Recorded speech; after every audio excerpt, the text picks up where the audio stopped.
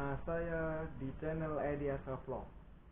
Kali ini gue tidak akan ngevlog langsung ya guys. Gue mau memperlihatkan video saya sama saya jalan-jalan tadi malam.